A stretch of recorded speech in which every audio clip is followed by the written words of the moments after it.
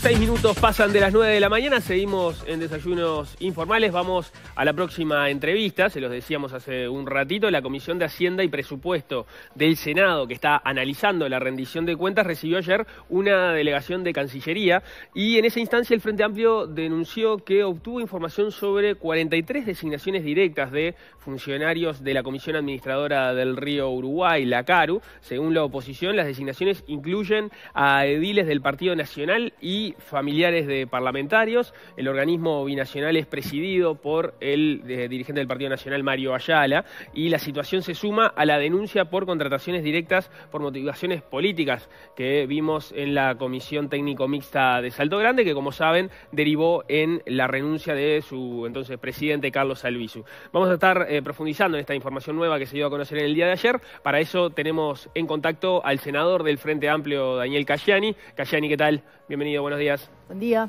Buen día. Buenos días, Nico. Buenos días, Paula. Buenos días, Leo. ¿Todo bien? Bienvenido. Eh, bueno, muchas gracias por, por el contacto. Eh, ¿Cómo llega el Frente Amplio a esta información que pusieron arriba de la mesa ayer en la CARU?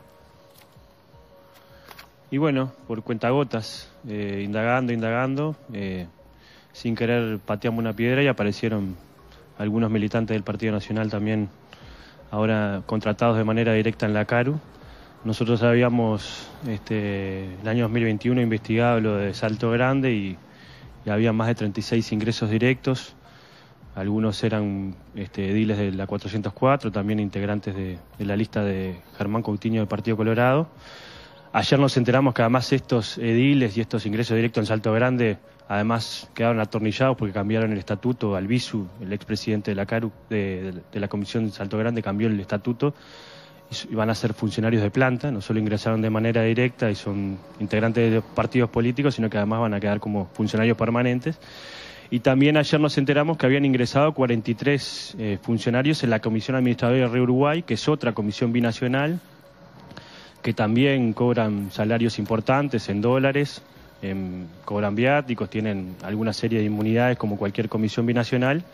Y al mismo tiempo nos enteramos que estaban haciendo un concurso de, eh, interno como para también dejar eh, inamovibles estos funcionarios, incluso con, con este, una base del concurso que, que, iba en contra del propio estatuto, porque en realidad para poder concursar de manera interna se le pedía a los funcionarios que tenían tres años de antigüedad, generalmente eso fue así, y en este concurso que se estaba haciendo, que era, estaba tan mal hecho, o hecho a medida por algunos funcionarios, terminaron suspendiéndolo porque se le pedía nada más que seis meses de, entrada al organismo y además incluso se le permitía a los asesores contratados de manera directa por parte de, de los integrantes del directorio de la CARU del Partido Nacional poder participar en ese concurso. O sea que otra irregularidad más que además termina como generando el mismo modus operandi, ¿no? Se ingresa de manera directa y después eh, además de cobrar esos suculentos sueldos que no pagan IRPF, que se cobran en dólares, que además cobran viáticos, en un momento complicado del país, donde la desocupación, sobre todo en esos departamentos, es bastante complicada, 14% en los departamentos limítrofes. Además, después nos dejan los ñoques ahí atornillados para, para la próxima administración, que creo que sin duda no es una buena práctica. Y creo que es una forma de clientelismo político y, en mi modo de ver, de corrupción, ¿no? Para llamarlo sin eufemismo, que creo que también no, no, está bueno y creo que no es una buena práctica para, para el Uruguay. Tanto la diputada Nancy Núñez como eh, por, el ingreso de su hermano y la senadora herrerista Gloria Rodríguez por el ingreso de su hijo eh, señalaron algo similar a lo que vos estás diciendo en el sentido de que eh, se hacía la contratación porque había una vacante, pero que después estas personas se presentaban a concurso. Eh, ¿Sabemos cuántas personas ya dieron concursos y están, digamos, como funcionarios públicos efectivos? Bueno, en realidad se supone que el concurso ayer, a pedido de, de, la propia comisión y por lo que nos informó el presidente de la CARU, eh, Ayala, Mario Ayala, se habría suspendido, ¿no? Porque en realidad justamente iba en contra del propio estatuto de, la Comisión Administrativa de Uruguay, que establecía eh, que podían participar gente que en realidad no podría participar, entre otras cosas por su antigüedad y entre otras cosas por, porque habían sido designados de manera directa.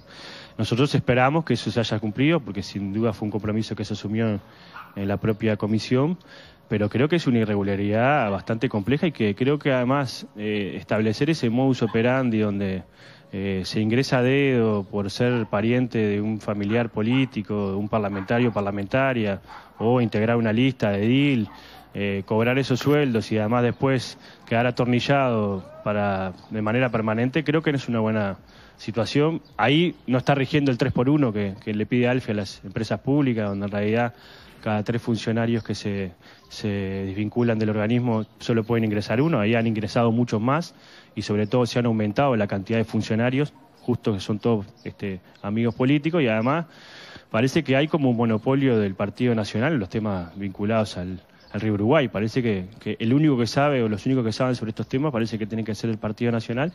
Y además creo que termina degradando la propia actividad de la Comisión Administrativa del Río Uruguay y de la propia Comisión de Salto Grande, que son importantes organismos binacionales que tienen importantes funcionarios sobre todo también de carácter técnico muy importante, y termina esta forma de acomodar amiguitos en algunos organismos internacionales, también degradando la propia institución, que creo que no es buena para el Uruguay y no es buena para también el relacionamiento regional con Argentina. ¿Qué, explicación dio Ayala a propósito del, concurso y esta violación de, las reglas con las que venía funcionando hasta ahora la CARU respecto a quienes podían entrar, eh, entrar en estos concursos con tres años de antigüedad? Que no se había dado cuenta que que no se había dado cuenta que, violaba el estatuto de la propia CARU y que por tanto lo, iba a revisar para poder este, realizarlo eh, adecuadamente.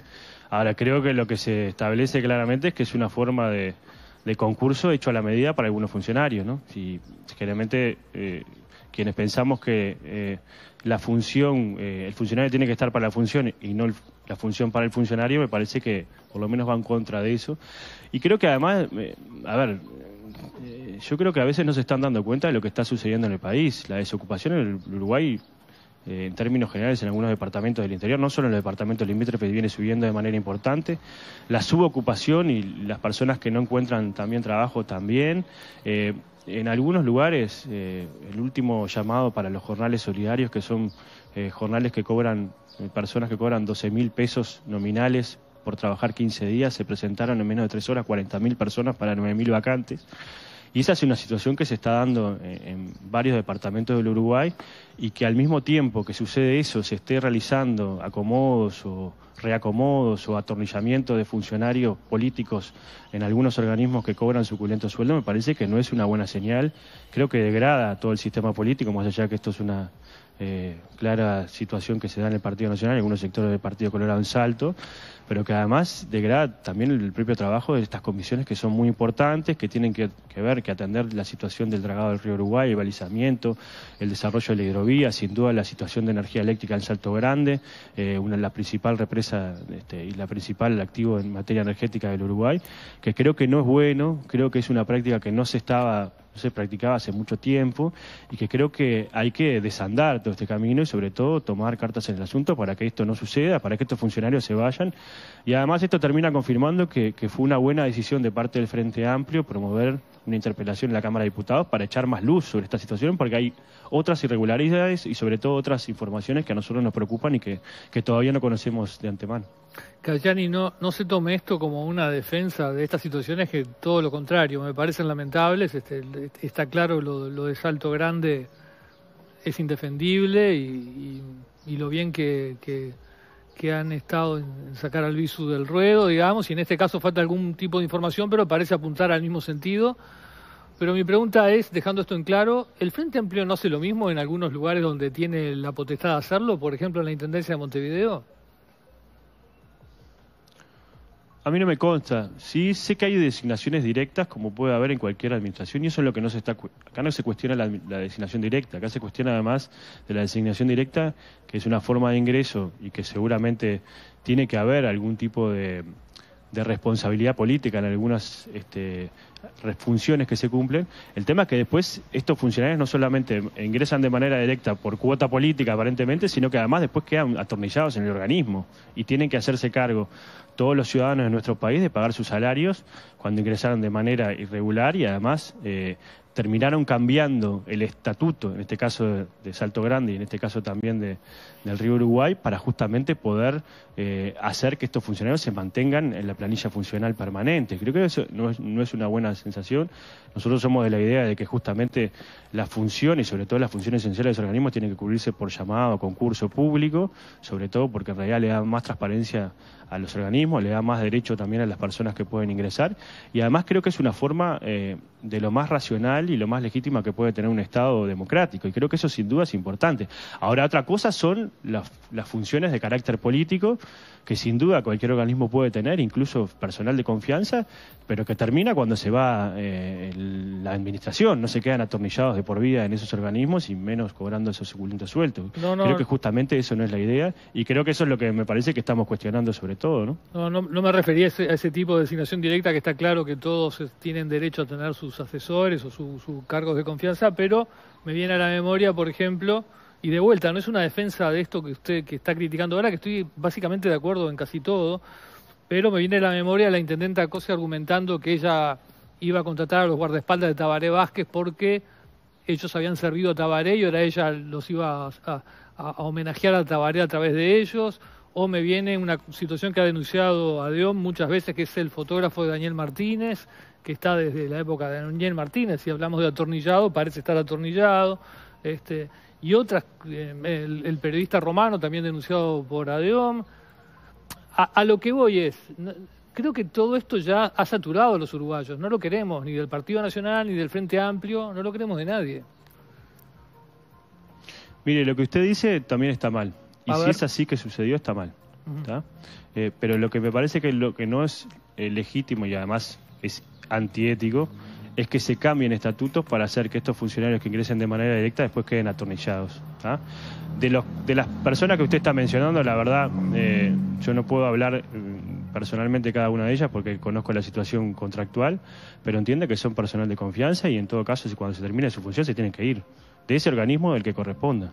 Y creo que eso es lo que corresponde y eso es lo que estamos cuestionando, en este caso en Salto Grande y en, la Comisión también Binacional de la CARU, que son los que nos vamos enterando a partir de denuncias que recibimos, a partir de pedido de informe y a partir de cuentagotas que, vamos este, sacando alguna información y a partir de investigaciones periodísticas que se hacen, porque la verdad que como acá no está no está presente la oposición porque en estos organismos el presidente de la República decidió que la oposición no esté presente como estaba en otros años, no podemos controlar, como son organismos además binacionales, tienen inmunidades y protecciones que tampoco se pueden hacer unas comisiones investigadoras, tampoco nos contestaban los pedidos de informe, entonces creo que sin duda son situaciones especialísimas y que además cobran suculentos sueldos, cobran además viáticos, eh, viajan en autos oficiales repito, en momentos donde hay situaciones tan complejas como 14% de ocupación en Río Negro, en Salto, en Paysandú, gente que, que está pasándolo bastante complicada, y me parece que, que sin duda eso es lo que nosotros estamos cuestionando,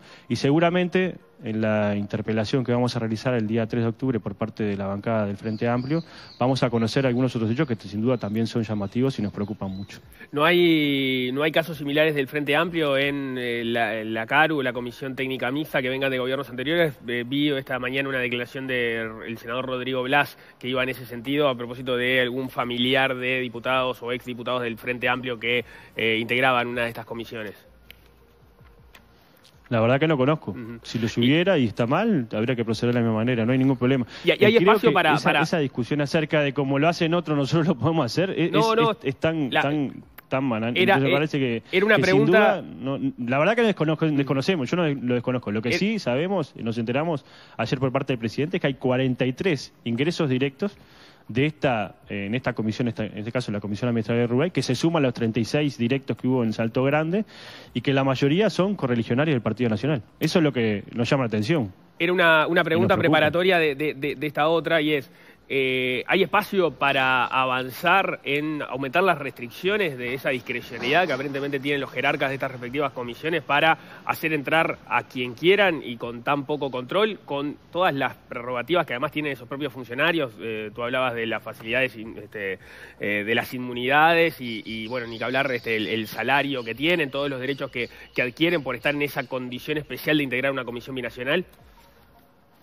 Sí, yo creo que sí. Creo que tendría que ser una tarea importante del sistema político todo, es justamente de tratar de ir quitando todos los vicios de discrecionalidad que tienen estas responsabilidades y sobre todo tratar de transparentar la, acción que tienen, porque en realidad, yo repito, son comisiones muy importantes, que tienen tareas muy importantes, que tienen que tener eh, un especial eh, eh, interés de parte del Uruguay, porque sin duda la, el litoral del Uruguay, el río Uruguay es una de las hidrovías más importantes que tiene nuestro país.